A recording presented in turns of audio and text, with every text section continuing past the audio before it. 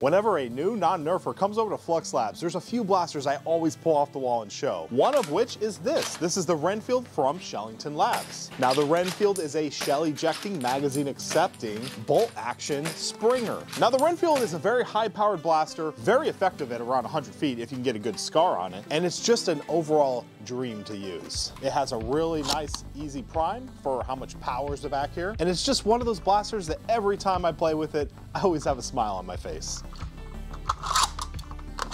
Without a shadow of a doubt, I consider the Renfield from Shellington Labs as a shining star as to what the hobby can offer. Now, some of you are probably asking, shell ejecting, why shell ejecting? And to answer that, I would say, because it's cool. But to be completely honest, there's something about Nerf that I love, and that's the kind of the flashy, the cool, the, the bright color stuff, the, the things that aren't practical, I like. And to me, it's it encompasses the spirit of Nerf. You know, it has a gimmick, it has something that's unique. But along with its gimmick, it also has super high power and is actually a very viable offering for something like a competitive game or whatnot. And in addition, as we explain more later in this video, the Kirin is actually a great offering for competitive play. And we'll go into detail as to why. And speaking of the Kirin, this right here is just a very exciting announcement. I want to give a special congratulations to Shellington Labs, Heath Hill, and all that was involved in making this a reality. This is truly an awesome achievement to get a blaster that's, you know, a 3D printed product all the way through development into a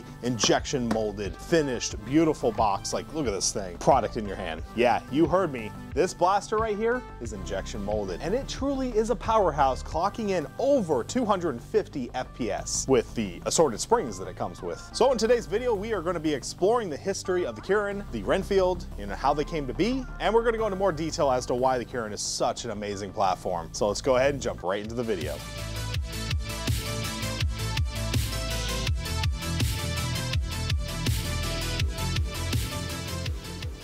Now, if we're going to talk about the Kirin, we got to talk about a super talented designer from the Nerf modding or 3D printed community. And his name is GDOP26. Now, if you're not familiar with who GDOP26 is, he is the father of the Spring Thunder. Now, the Spring Thunder is a truly amazing platform. This is a spring powered shell ejecting 12 gauge looking shotgun thing, which is truly remarkable and is actually behind me. You can, you can see it up there. Very cool blaster. The Spring Thunder introduced a new shell type known as, you know, Spring Thunder shell, but he didn't stop there. He also went on to develop the Fly Point. Now the Fly Point is very important for the story of the Kirin because it uses the same shells. Now the Fly Point, as you can see here, is a flywheel blaster. It takes uh, two of the micro wheels. This blaster is so cool because it actually has an action, it has like recoil recoil. It takes a magazine with shells, has shell ejecting, lipo powered, and is truly an engineering marvel as to how much stuff he fit into a pistol form factor. If you'd like to see more about this blaster, I got a full video. So the Flypoint shell, why is it so good? Now the Flypoint shell has become kind of a staple across the hobby as a standardized shell type, mainly because it holds the short dart, and it holds it well. Now I'd like to take a moment to explain why shells are so good. A lot of people are like, well, that just adds extra steps, it's not as good, blah, blah, blah. And to be honest, the reason why a shell is so good is because it keeps the darts intact. And when you put darts into a magazine, you'll notice over time, as you use these darts, they get smashed, they get kind of jammed up. However, when you put a dart in a shell, it kind of protects it. So in theory, you should get more use out of your darts. Your darts will not be getting smashed by having them in a magazine, so they shouldn't deform, thus giving you better accuracy because the darts are not deformed when they shoot out the barrel. So in that regard, shells are good. It's also worth noting the hobby has actually taken a liking to these shells and has used them in other builds. Genco Megaworks is a good example as they have built an entire blaster around these shelves. So really cool to see. But moving on, let's take a look at the Renfield. Now the Renfield can be viewed as a prototype for the Kirin because of its 3D printed nature, and this blaster itself has gone through revisions to get a perfect finished product. Now something I've seen in the Nerf hobby, in the 3D printed Nerf hobby in, in particular, is the just the excessive usage of 3D printed parts as kind of like a final solution for something. Now this is fine, but you gotta keep in mind, this is still prototyping. You know, the 3D printed parts are still prototyping. And what do I mean by that? Now prototyping parts are good for if you're trying to make revisions, you're trying to make tweaks and get things kind of nailed down. You don't really want to go and get stuff injection molded because injection molding is extremely expensive because you got to make molds and they're, they're made out, they're like milled out of aluminum or metal or whatever, and they actually will sit there and inject plastic into them. And if you need to make a tweak as to how something looks like a part, you're now remaking your mold, which is the most expensive part of injection molding is having to make the molds. So what you want to do is get a finalized part, you know, something that is ready to go and then send it off to be injection molded. Also, there's the concept of, you know, you got a return on investment. So, you know, if I if I want to go get this part injection molded, I need to sell, you know, now we're looking at thousands of units as opposed to a few hundred. So if you're looking to sell a few hundred of something, 3D printing's fine. And when you look across the Nerf scene and all the little small stores and whatnot, you know, when they sell these products, they're usually they're, they're not looking to sell thousands upon thousands of that product. So it's perfectly normal to see all these 3D printed parts and designs. Now, why, why does all this matter? This all matters because seeing a blaster that has gone from this to this is amazing because what we have here is a finalized product. We have something that has reached its level of perfection to the point where like, okay, we're gonna invest money, time, energy, and we're gonna make this thing a final product for people to buy. And that to me is amazing that the hobby, the community, all of you has, you know, basically we've had something truly come out of it. Now, I wanna take a quick moment to talk about, you know, Dart Zone because I've seen this over and over and over in many of the hobbies that I've been in, 3D printing in particular. So what you have is a large corporation or a large company that sees an opportunity. And I'm not sitting here saying that these companies are bad. They're doing what they can do to turn over a profit. Because in the end, companies want to make money. That's why they exist.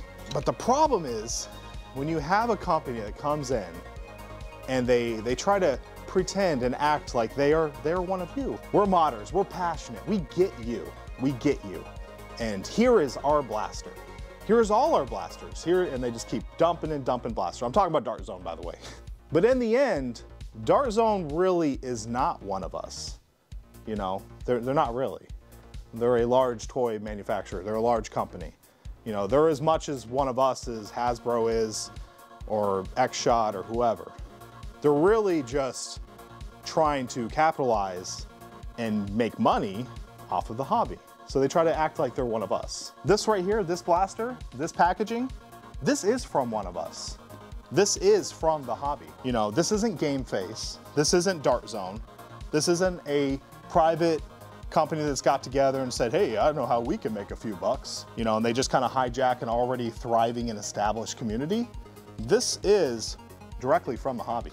And that's why it's so exciting because if anything, the Dart Zone thing is really just is just a wolf in sheep's clothing, really. You know, it's just someone camouflaging as one of us. You know, hey, we're hey guys, we're part of the hobby. Not really, okay? But Shellington Labs, definitely. Really cool. So with all that laid out, I hope you understand why it's so exciting that Kirin exists. I hope you understand why I'm so excited about it, why to see something in formation from the hobby to grow up and then become like a full-on product. You know, this blaster really is a success story and I'm just excited I want to share that with you. So moving on, let's talk about the Kirin. Like what is it? You know, you're, you're all wondering. Why is it so good? You got, you got my attention. Why is it so good? Now, before we get started, I do want to take a quick moment to thank Frontline Foam for sending in the review model. This is such a big deal because there wasn't a lot of these in the country and not a lot of people have had their hands on one of these. So thank you for sending one in. And we love this thing so much here down at Flux Labs. We put it through a lot of testing that, you know, we went back to Frontline Foam and said, hey, can we please get one for ourselves? Because we had to we had to mail the other one back. And so they're like, oh yeah, sure. And so they actually sent this one down. This is the this is our version, you know, the the uh, turquoise one. And oh, it's just so good to have one of these, and I have a lot of great things I want to do with it. So with that out of the way, let's talk about Kirin. All right, so the blaster is designed by Shellington Labs and in a collaboration with Heath Hill. And on the side of the blaster, you can see it says actual MHP, Mr. Heath Pants Arms Company. And on this side, we got Shellington blasters and a little note here for human use only. No zombies. Now keep in mind, this is the most powerful and competitive shell ejecting blaster on the market. There's nothing that competes with it right now. You know, the performance of this thing and the durability and swappability of the springs and just the overall design of it is one of the best out there, if not the best. Now, the company that had a hand in the actual injection molding process and manufacturing of this is uh, Phantom Tech. So what is the Kirin? Like I said earlier, this thing is bolt action, shell ejecting, takes a magazine, you know, is easily, uh, you can swap out springs. It's got easy takedown pins. It's got th three pins that allow you to take it down. It has an ambidextrous bolt, so you can actually it, switch it out, and switching this thing is not hard at all. So if you want to pass it off to a friend and maybe let them run it in a round or so, you can quickly switch this thing out from left-handed to right-handed in pretty quick amount of time. I would not recommend doing this during a game, but definitely in between games. So let's go over what comes in the box. Obviously you get the base blaster, you get three different springs. Each one is a different strength. So you got a weaker one, a mid, mid one, and then you have a strong spring. Keep in mind the strong spring, which we'll go over chronograph readings, but the strong spring should be hitting over 260, 250 FPS. This comes with two magazines. These are, these hold seven darts apiece with shells. So it's a shell in dart in a magazine, so pretty cool. And we have 20 injection molded shells. I love these things. I have a ton of 3D printed ones and getting my hands on the injection molded shells is just way better than having a 3D printed shell. You know, they're way more durable, you can step on them, you don't risk cracking them, and yeah, they're great. And they chose a good color, you got bright orange, so they're easy to find. And lastly, there are 10 darts. These are a yellow dart with a blue head, so pretty easy to see and they appear to be very similar to the Worker Dart or even the Adventure Force Pro Short Dart. Packaging looks beautiful, everything is high quality, it feels like a good finished product. In the package, you'll see there's a little bag of parts here. This right here is, uh, I believe it's the thing that holds it, the ejector in, because the ejector changes from side to side depending on if you're left or right-handed. And then it comes with some O-rings. And overall, the assembly of this blaster is very, very easy, very quick. That's the one thing I love about this thing is the easy takedown of it. So in that regard, really cool.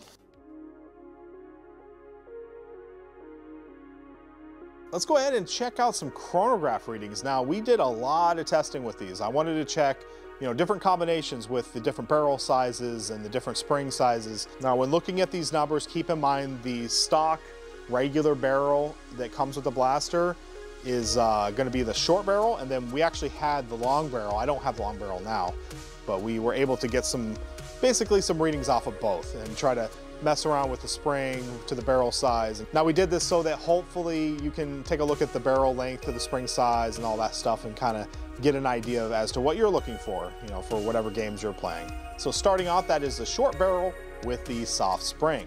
103.2, 95.3, 106, 105.8, 113, 108.8, and 78.8. Now the 78.8 is kind of an outlier. I think we still calculated in and we got an average of 101.56. Next up, we tried the short barrel with the stiff spring. So we pretty much skipped the middle spring on these tests and we just did the softest spring with the, the hardest spring. Now short barrel with strongest spring, that was 194.9, 229.3, 206.2, 234.1, 231.2, 211.4, 240.6, with an average of 221.1.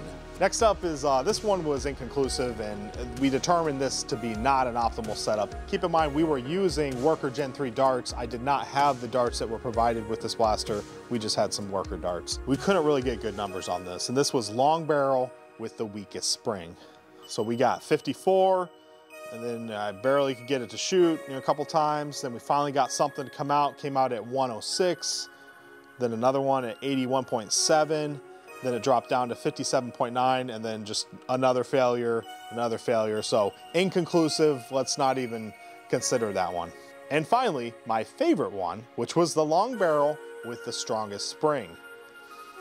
This was 237.5, 238.3, 207.8, 261.6, 216.1, 208.7, 230, 221.3 with a grand total of 227 FPS.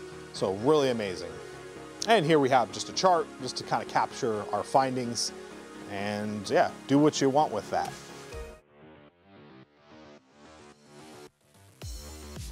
After that, we wanted to do some range and accuracy testing. We did this at 50 feet and this thing was super accurate without a scar. I was getting some pretty good tags. So we have a scar here from uh, out of darts. I'll put a link in the description. This thing helped a lot. And I, I did a setup with the long barrel, with this scar, with the, with the strongest spring, and I had great success. So when I build out mine, number one, I gotta get a longer barrel, and then I need to basically, I wanna build this out with this scar. Without a shadow of a doubt, I can say this is a very good tagger at anything from, you know, 30 feet all the way up to over 100 feet easy. You know, so if you got long, long range sniper type of battles, if that's your thing, you know, you like the whole bolt action sniper hiding in the bushes, this is definitely your blaster. Now that we've got the chronograph and the accuracy and all that out of the way, many of you are probably watching this video saying, you know what, you said this is a high performance competitive blaster. I can't get behind the fact this thing has shells. I'm sorry. And to, to all of you, I agree. Having a shell ejecting blaster in a competitive scene when you're working with a team, you know, in a, in a highly competitive game, shells don't work. You know, I'm just gonna be honest, they don't work. However, there is a kit that converts this blaster into something that accepts angled talons. This is huge. Now you can use angled talons, and I've heard rumors of other stuff that actually can make normal talons compatible with it. So, you know, if, you, if you're not into the shell ejecting thing because you truly are looking for a competitive blaster and you wanted a good bolt action, this is it. You know, this is gonna be your blaster of choice. So when I get that part in, I'm gonna be, you know, fine tuning mine. I'm gonna install it, probably give it some paint, make it kind of fluxify it, if you will. And um, let me know in the comment section if you wanna see a video on that. So that pretty much wraps up today's video. Now I do want to take a moment to talk about what we're doing here. Many of you have probably noticed that we have done a ton of shorts. Now this was part of a test, kind of a trial run to see the new you know, shorts algorithm and how it all works and everything. And we've concluded the test, so now, if you came to the channel and you subscribed for shorts, don't worry, you'll still see shorts here, just not to the excess that you saw before, because we're doing two a day. That is not a feasible model to do two shorts a day and a long form each week. I mean, it's only uh, two of us here, and you know we just don't have the time to do that much work. So, if you like the long form videos, if this is what you like, please share this video. Please comment on it, like it, make sure you're subscribed, and that helps tell the algorithm to promote this video and hopefully it goes, you know, hits more viewers and does better, which in return gets us to, you know, continue to make more long form videos. But, you know, it's very important. You know, without, without all of you, like this doesn't really exist. So any help you can do, big, awesome help.